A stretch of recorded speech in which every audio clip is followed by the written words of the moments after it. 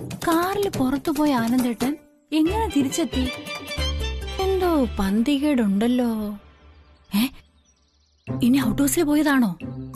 ഏ ഞാനിപ്പോ അവിടെ പോയതല്ലേ? ഒന്നും അങ്ങോട്ട് പിടികിട്ടുന്നില്ലല്ലോ. ഏ എന്റെ പൊറോട്ടയും ബീഫ് ചില്ലും വന്നിട്ട് പോയി കാണോ? അയ്യോ ഒരു പിടിയും കിട്ടുന്നില്ലല്ലോ. ഏ?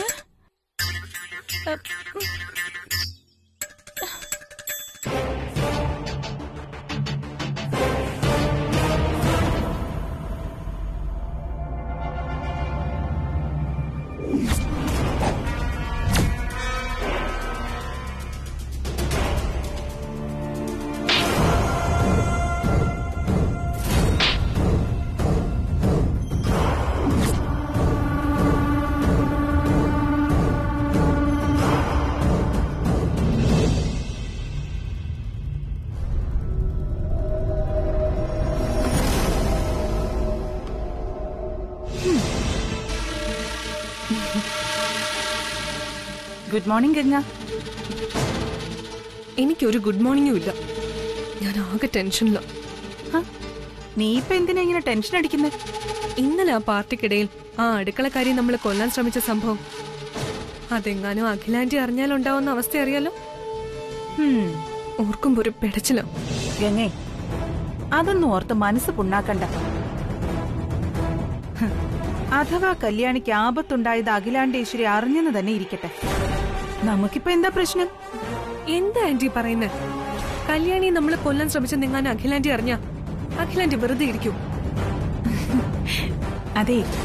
ശരി അങ്ങനെ തന്നെ ഇരിക്കട്ടെ. അവളെ കൊല്ലാൻ നോക്കി. മുൻകൈ എടുത്തത് ഞാൻ. പക്ഷേ ഇക്കാര്യം നമ്മളാ ചെയ്തെന്ന് വല്ല തെളിവുണ്ടോ? സാക്ഷികളുണ്ടോ? അഖിലയുടെ കോടതിയിൽ തെളിവുകളും സാക്ഷികളും വേണം. അതൊന്നും ഇല്ലാത്തടത്തോളം നമ്മൾ ആരെ പേടിക്കാൻ? എന്റെ ആന്റി. കല്യാണി ആന്റിയുടെ പേര് പറഞ്ഞ അത് പോരെ തെളിവ്. ആ ആര്? അവളോ? ഗംഗേ ഡ്രൈവർ ദാസിന്റെ രക്തോ കല്യാണി? തന്നെ കൊല്ലാൻ ശ്രമിക്കുന്ന കൊലയാളിക്ക് പോലും ശിക്ഷ കിട്ടല്ലേ എന്ന് പ്രാർത്ഥിക്കുന്ന ദാസിന്റെ രക്തം. അവൾ ചത്താ പോലും എന്റെ പേര് വിളിച്ചു പറയില്ല. അതാ കല്യാണി. ദേ അതുകൊണ്ട് നീ അതിനെ കുറിച്ച് ആലോചിച്ച് വെറുതെ ടെൻഷൻ അടിക്കണ്ട. അതെ കിട്ടിയ സമയത്ത് അഖിലാണ്ടേശ്വരിയുടെയും ശിവരാമേട്ടന്റെയും മനസ്സിൽ സ്ഥാനം പിടിക്കാൻ നോക്ക്. ആന്റി അത് പിന്നെ? എന്തത്? പോയി ബെഡ് കോഫി ഉണ്ടാക്കി കൊടുത്ത് മാതൃകാ മരുമകളാകാൻ നോക്ക്. ചെല്ല്.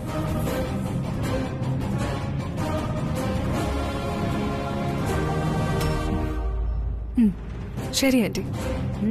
ചെല്ല്.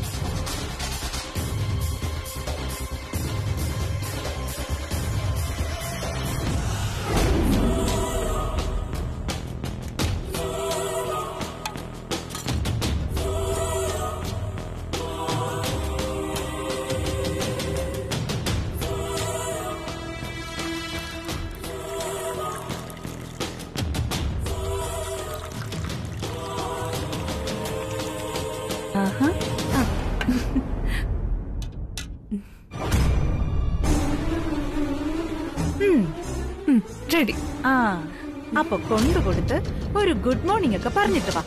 ചെല്ലു. ശരി aunty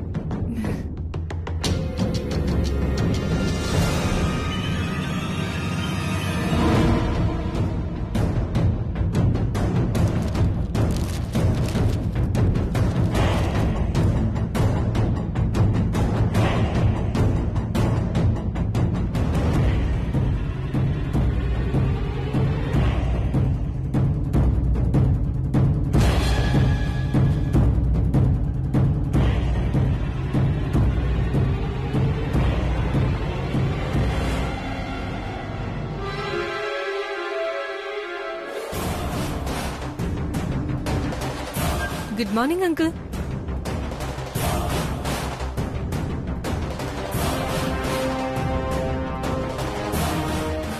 good morning aunty good morning Ganga എന്താണ് പുതിയൊരു കാഴ്ച? ഇന്നെന്റെ അമ്മായി അച്ഛനും അമ്മായി അമ്മയ്ക്കും എന്റെ കൈകൊണ്ട് ചായ ഉണ്ടാക്കി തരാന്ന് കരുതി. അപ്പൊ കൃഷ്ണേട്ടാ നമ്മൾ ഭാഗ്യം ചെയ്ത അമ്മായി അമ്മ അമ്മായി അമ്മായിയച്ഛനാ ആ പോട്ടെ. കല്യാണി എവിടെ? കല്യാണി ഇതുവരെ വന്നില്ല എന്റെ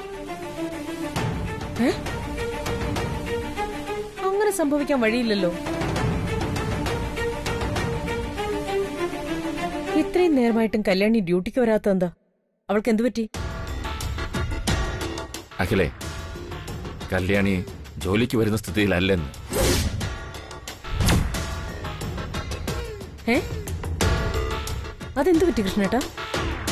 ഇന്നലെ കല്യാണിയെ കൊല്ലാനുള്ള ശ്രമമൊക്കെ നടന്നു.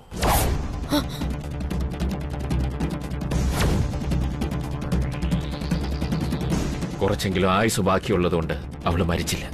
എന്താ കൃഷ്ണേട്ടാ ഈ കേൾക്കുന്നത്? സത്യമാണോ? കല്യാണി കൊല്ലാൻ നോക്കിയെന്നോ? ആര്? എന്നിട്ട് കൃഷ്ണേട്ടൻ ഇത് ഇപ്പോഴാണോ എന്നോട് പറയുന്നത്? അഖിലേ നമ്മൾ പാർട്ടി കഴിഞ്ഞ് നേരത്തെ ഇങ്ങ് പോന്നു. ക്ഷീണം കാരണം നീ നേരത്തെ കിടന്ന് ഉറങ്ങുകയും ചെയ്തു. കുറെ കഴിഞ്ഞപ്പോ ആനന്ദ് നിന്നെ തേടി വന്നിരുന്നു. രാത്രി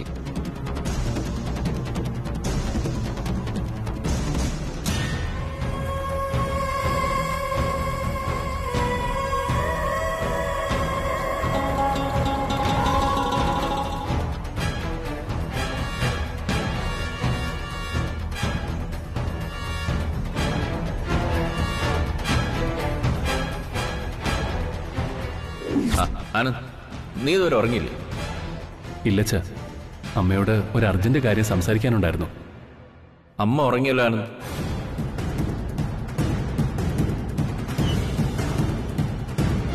എന്താ വല്ല പ്രധാനപ്പെട്ട കാര്യം വല്ലതും ആണോ? കല്യാണിയെ കൊല്ലാൻ നോക്കിയ കാര്യം പറയാനാണ് ഞാൻ വന്നത്.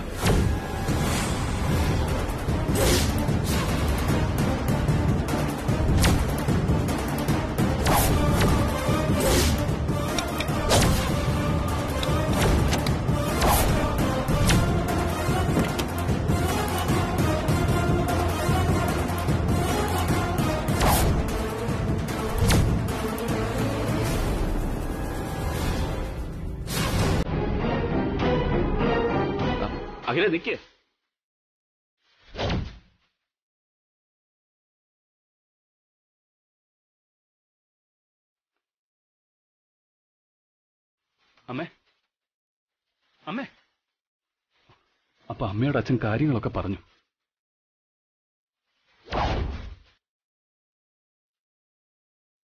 അമ്മേ.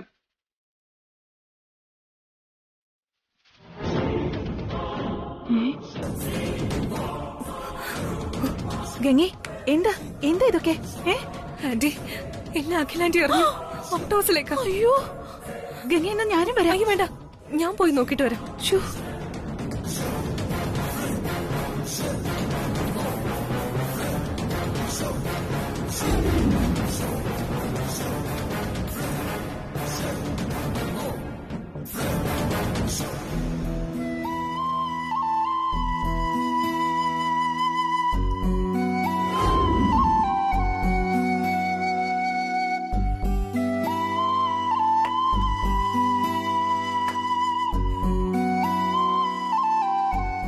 ചേച്ചി. ചേച്ചി എഴുന്നേക്ക്. ഇത് കഴിക്ക്. എനിക്ക് വിശപ്പില്ല നീങ്കുട്ട. അത് പറ്റില്ല. കഴിച്ചേ പറ്റൂ. അച്ഛൻ ഇത് ചേച്ചി കഴിപ്പിക്കാൻ പറഞ്ഞിട്ടാ മെഡിക്കൽ സ്റ്റോറിൽ പോയത്. ഉം കഴിക്ക്. വേണ്ടടാ. കഴിക്ക്. വേണ്ടഞ്ഞിട്ടല്ലേ? കല്യാണി? ചേച്ചി. വേണ്ട എഴുന്നേക്കണ്ട. ഇരിക്കിരിക്ക. ആ വേണ്ട ഇരിക്കേ. ഇപ്പൊ എങ്ങനെയുണ്ട് കല്യാണി? ക്ഷീണം കുറവുണ്ടോ? കുറയുന്നുണ്ട് മാഡം. ആ സമയത്ത് ആനന്ദ് അവിടെ ഇല്ലായിരുന്നെങ്കിൽ എന്താകുമായിരുന്നു അവസ്ഥ?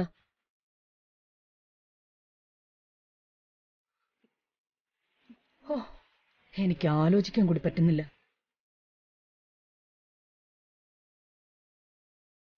ആരാ കല്യാണി? ആരാ ഇത് ചെയ്തത്?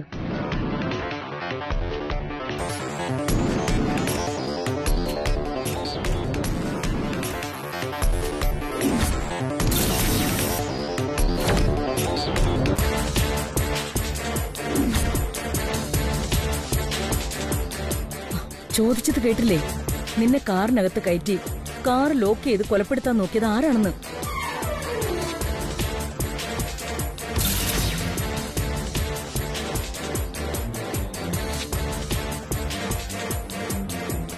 ആനന്ദ്. നിനക്കറിയില്ല ഇതാരാ ചെയ്തെന്ന് അറിയാമേ. ആരാ?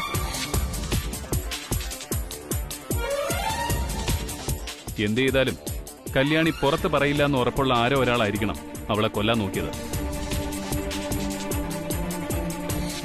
അതെ. അങ്ങനെ ഒരാൾ തന്നെ ആയിരിക്കണം ഇതിന്റെ പിന്നിൽ. പാവം. കല്യാണി ചൂണ്ടിക്കൊടുക്കില്ല എന്നറിയാവുന്ന ആരോ ഒരാൾ.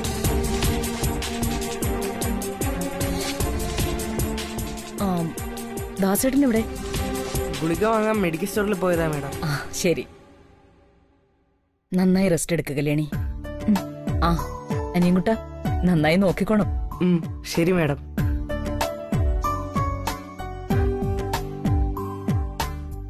വരട്ടെ.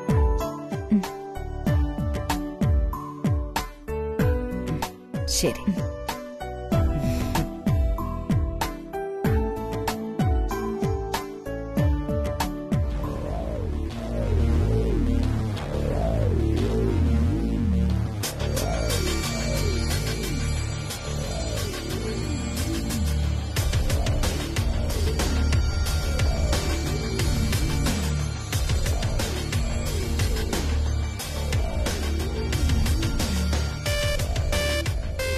வழிக்கு. ம். ம்.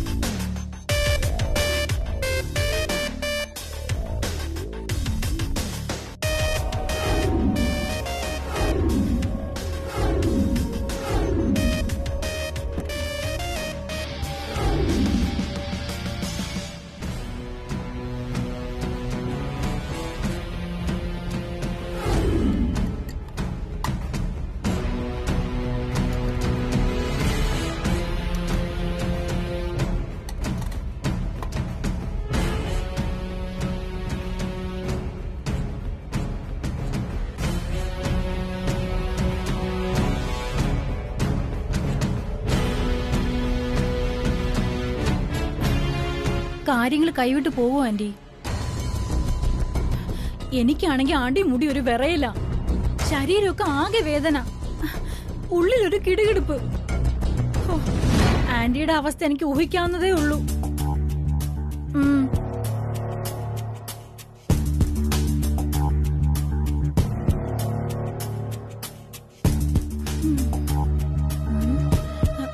ആന്റി. ദേ അഖിലാന്റി വരുന്നു.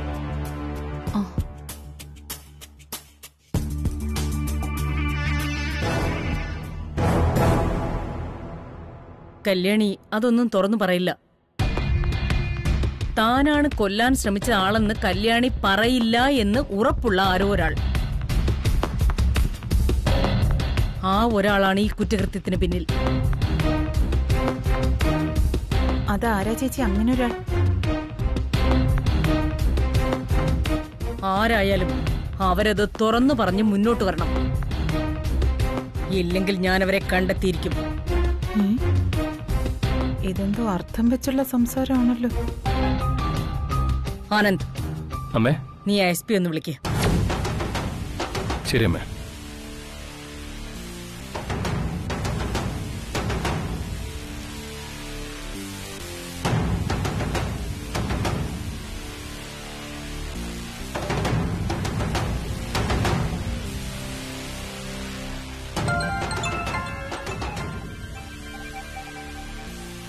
ഹലോ ആനന്ദ് ആ സർ ആ അമ്മ അടുത്തുണ്ട്. അമ്മയ്ക്കൊന്ന് സംസാരിക്കണം. ആ ശരി കൊടുക്ക. ആ ഒരു minute. ഇതാമേ hello hello good morning madam ആദ്യമേ തന്നെ ഒരു സോറി പറയട്ടെ. അത്യാവശ്യമായ ഒരു മീറ്റിംഗ് ഉണ്ടായിരുന്നു. ഡൽഹിക്ക് പോകേണ്ടി വന്നു. പാർട്ടിയൊക്കെ ഗംഭീരമായിരുന്നു എന്നറിഞ്ഞു. കൺഗ്രാചുലേഷൻസ് ഗംഭീരായിരുന്നു. പക്ഷേ പാർട്ടി കഴിഞ്ഞപ്പോൾ ഒരു പ്രശ്നമുണ്ടായി. Murder attempt. വാട്ട് മാഡത്തിന്റെ പാർട്ടിയിൽ മർഡർ അറ്റംപ്റ്റോ അതെ സർ. ഞാൻ ഇങ്ങ് പോന്നതിന് ശേഷമാണ് സംഭവം. ഞങ്ങളുടെ ബ്രാൻഡ് അംബാസിഡർ കല്യാണിയെ ആരോ കൊല്ലാൻ ശ്രമിച്ചു.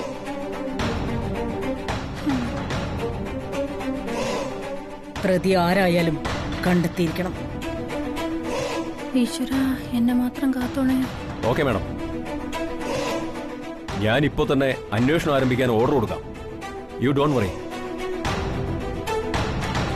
ഇതിന്റെ ഒഫീഷ്യൽ കംപ്ലൈന്റ് ആയി കരുതി കുറ്റവാളിക്ക് അർഹിക്കുന്ന ശിക്ഷ കൊടുക്കണം സർ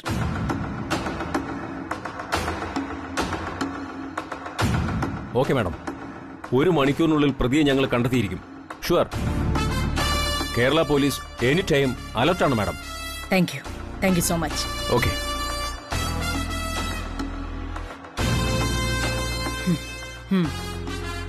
ഒരു മണിക്കൂറിനകം പ്രതി ആരാണെന്ന് കണ്ടെത്തിയിരിക്കുന്ന എസ് പി പറഞ്ഞത്.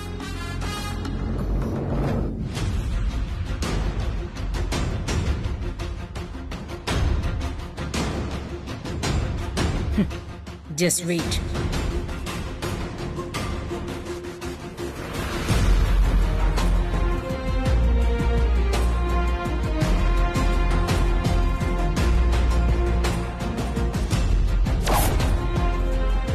Just wait and see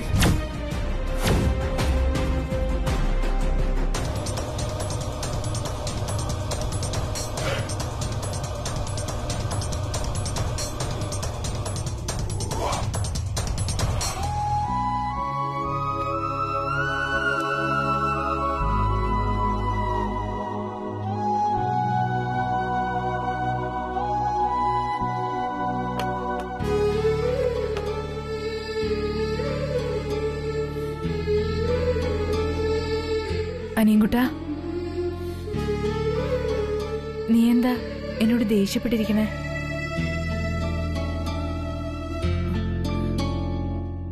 ചോദിച്ചത് കേട്ടില്ലേ? എനിക്ക് ആരോടും ഒരു ദേഷ്യമില്ല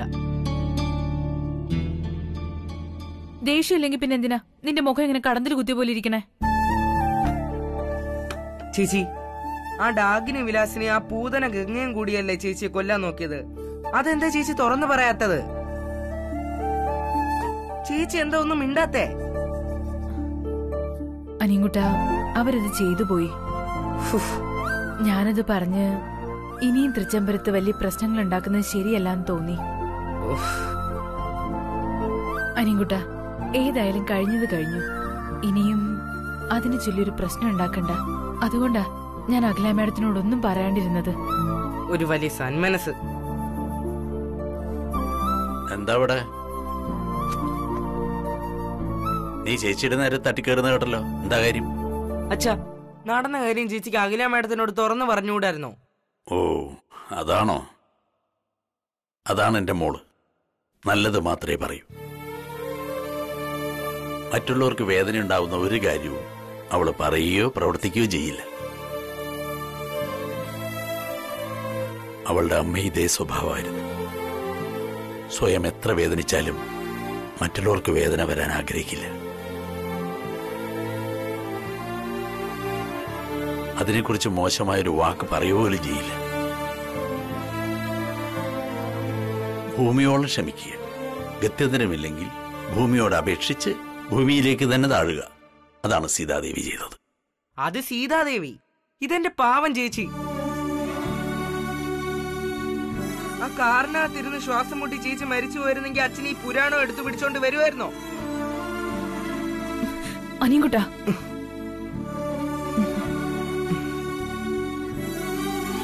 ആ ശരി. ഈ വിഷയം ഇവിടെ അവസാനിപ്പിക്കാം.